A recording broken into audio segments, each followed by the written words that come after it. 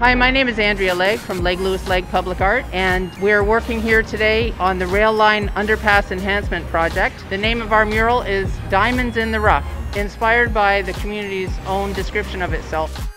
The community is very self-managed and they're very proactive about taking care of each other and taking care of the wider community. They have a community building project and there are four themes. There's spirituality, education, community itself, and home and family.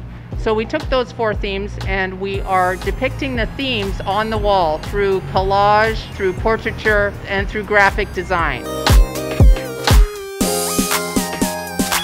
So it's using themes of community, family, highlighting that in front of the rough walls of this underpass. There's going to be several like mixed media elements coming into it, some reflective paint and some metal tiles in diamond shapes to emphasize the theme. All of the officers and the advisory council and the community was engaged in this process and we had over several meetings in terms of really sitting down talking about the vision and the mission for this project and today I'm really happy to see what has manifested, what has been created.